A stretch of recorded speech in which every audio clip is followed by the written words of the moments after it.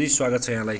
Thank you thank you so much अब म कुराको सुरुवात चाहिँ बङ्गलादेश भएको टी ट्वेन्टी वर्ल्ड कपबाट गर्न चाहन्छु जो टु थाउजन्ड थर्टिन फोर्टिनमा भएको त्यो वर्ल्ड कपमा तपाईँको पर्फर्मेन्स एकदम उत्कृष्ट रहेको थियो होइन। त्यस त्यो बेलाको क्षणलाई कसरी सम्झिनुहुन्छ? किन भन्दा एउटा उच्च लयमा हुनुहुन्थ्यो जितेन्द्र मुखिया त्यो टी ट्वेन्टी वर्ल्ड कपमा चाहिँ। त्यो बेलाको समय सम्झिँदा अझ पनि होइन भर्खर अस्ति खेलेको जस्तो लाग्छ।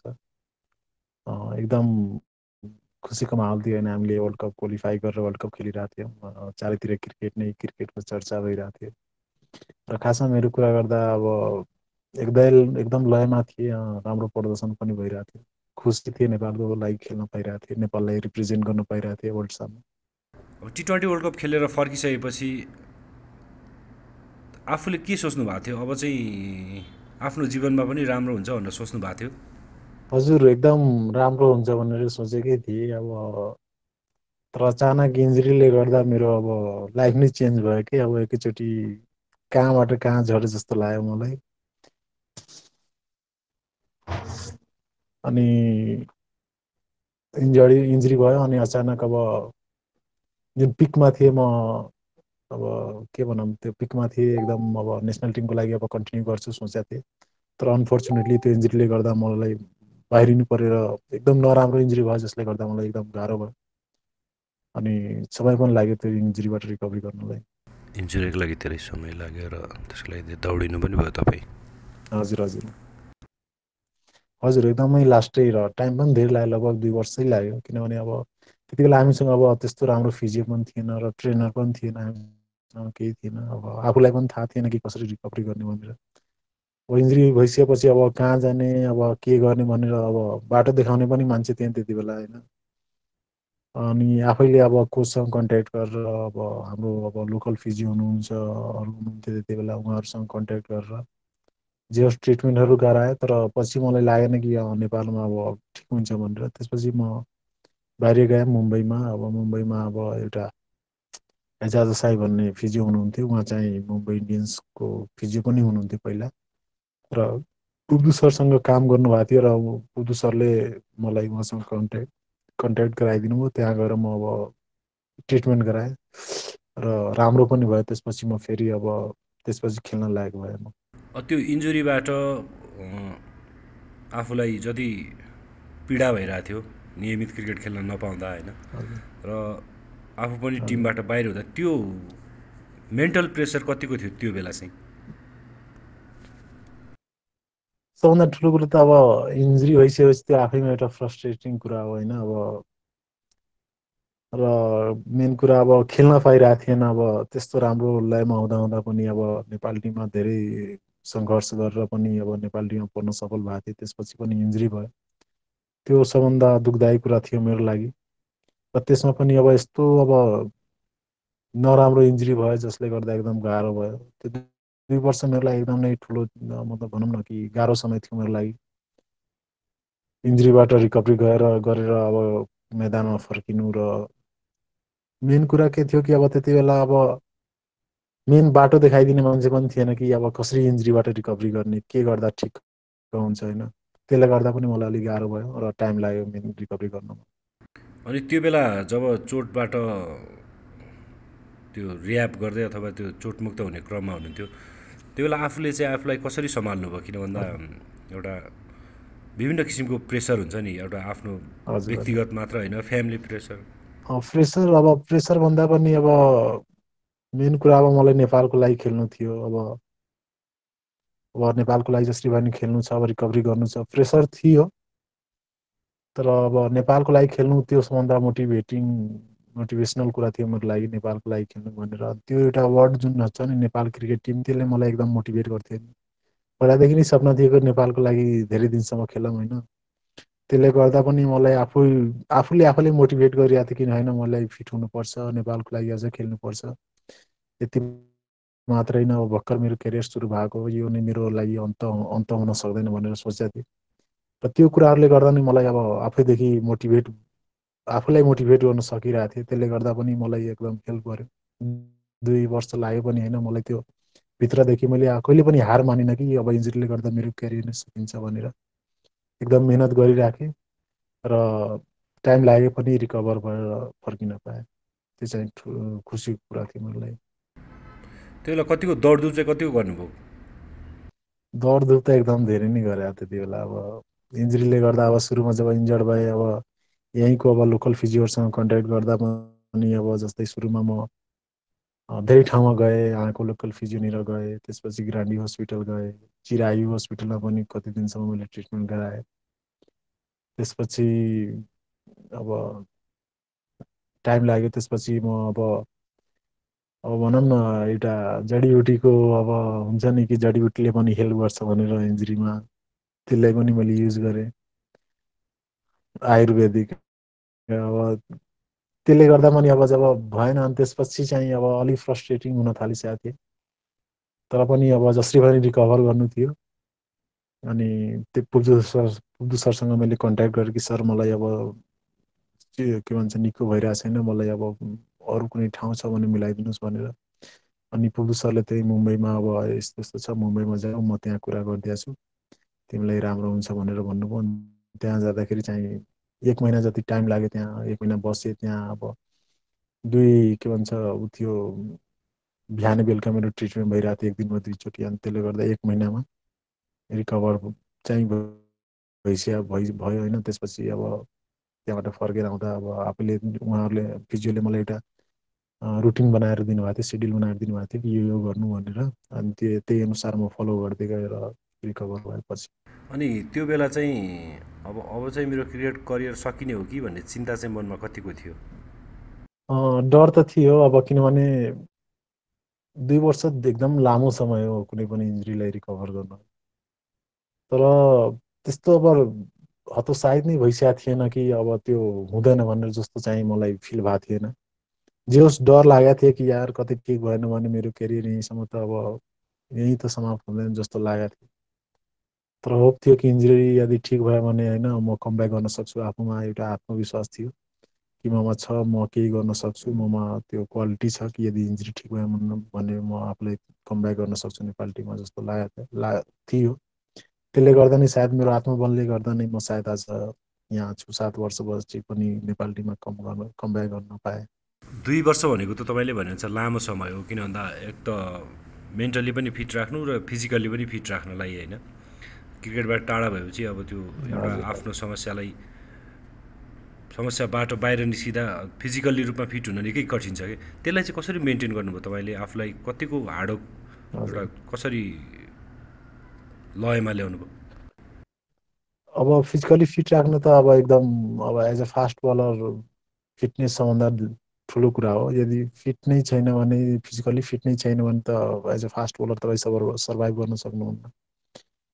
वर्कलोडहरू धेरै गरेँ। अब वर्कहरू के भन्छ त्यो एउटा फिटनेस पार्ट्सहरू जुन फिजियोले मलाई भनेको थियो त्यो अनुसार पनि गरेँ। रनिङहरू स्ट्रेन्थनिङहरू होइन। अब मेरो लागि अब मेरो करियर भनेकै क्रिकेट हो। अब म यदि म आफ्नो करियरलाई पनि टाइम दिन सकेन भने होइन आफ्नो क्रिकेटलाई नै टाइम दिन सकेन भने त म अब त्यसपछि क्रिकेट छोडे नै हुन्थ्यो। किनभने मेरो लागि सबथोक नै यही थियो।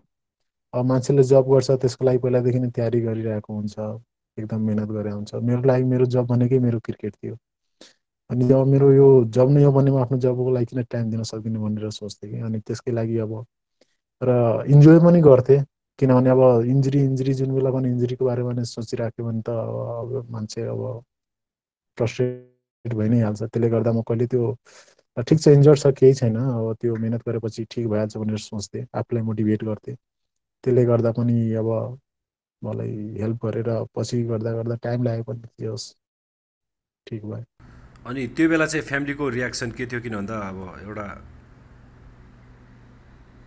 घरको छोरो फ्यामिलीको र अब हजुर हजुर एकदम रियाक्सन भन्नाले अब सबले भन्थे कि अब कहाँबाट एकैचोटि कहाँ आइपुगेछ भनेर अचानक कसरी भयो यसरी इन्जुरी भनेको कुरा अब गाउँघरमा त अब मम्मी ड्याडीले त्यति क्रिकेटको बारेमा थाहा पनि थिएन। र झन् यो इन्जुरी भन्ने कुरा त अब उहाँहरूलाई केही थाहा थिएन कि इन्जर्ड पनि हुन्छ भनेर मान्छेलाई। अनि उहाँहरूलाई लाग्यो कि कसैले केही त गरेन भनेर होइन जाँदै टुना भन्छ नि हाम्रो गाउँतिरहरू त्यस्तो कसैको नजर त लागेन नि तिमीलाई भनेर उहाँहरू भन्नुहुन्थ्यो। मैले होइन त्यस्तो केही कुरा हुँदैन।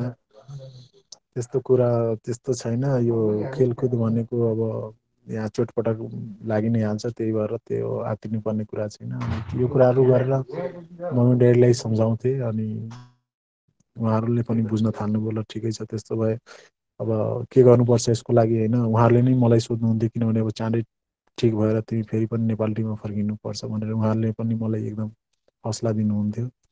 अनि फ्यामिली सपोर्ट अब सुरुमा त उहाँहरू पनि निराश हुनु होइन तर पछि चाहिँ एकदम उहाँहरूले पनि एकदम केही छैन। इन्जुरी भइसकेपछि ठिक हुन्छ तिमी फेरि टिममा फर्किन्छौ भनेर उहाँहरूले एकदम हौसला बढाउनु भयो र फ्यामिलीको सपोर्टले गर्दा पनि उहाँहरू सायद यहाँ अब यो बिचमा त इन्जियरबाट अलिकति राम्रो भएपछि डोमेस्टिक टुर्नामेन्टमा त फर्किनु भएको थियो होइन?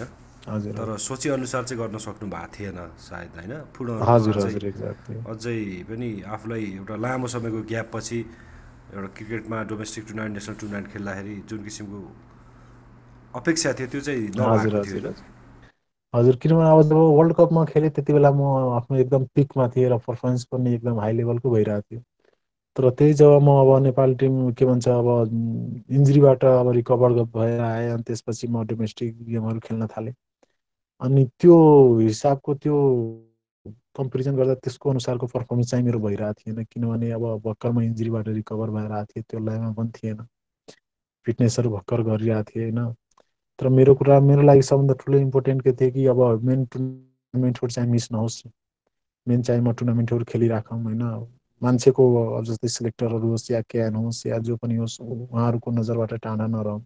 एटलिस्ट ल यो मान्छेले क्रिकेट अहिले पनि खेलिरहेछ खेल्दैछ भनेर लागोस् होइन एटलिस्ट मान्छेहरूले देखोस्। यो यस्तो होइन कि मान्छेले जितेन्द्रलाई बिर्सिसके इन्जुरी भइ भइसकेपछि खत्तम भइसक्यो भयो भनेर नलागोस् मान्छेलाई। म त्यो सोच्थेँ।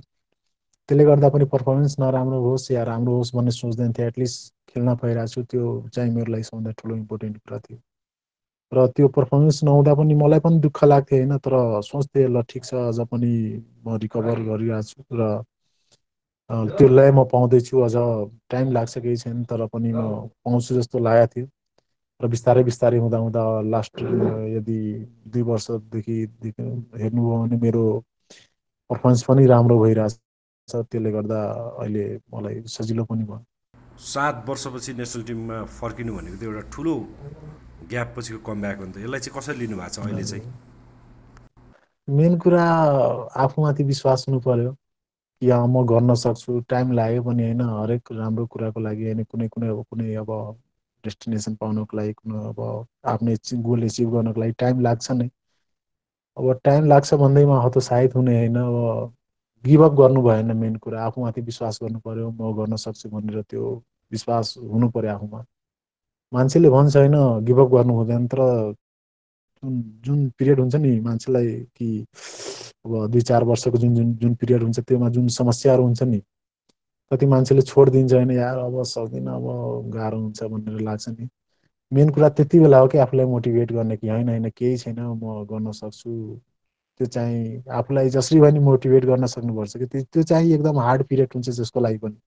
यदि त्यति बेला कसैले यदि भन्न सक्यो आफूलाई मोटिभेट गर्न सक्यो कि होइन म गर्न सक्छु केही छैन अझ टाइम लाग्छ लागोस् तर म सक्छु भने यदि त्यसले कसैले ठान्यो भने सक्छ नै तर त्यति बेला यदि कसैले गिभअप गरिदियो भने चाहिँ सक्दैन।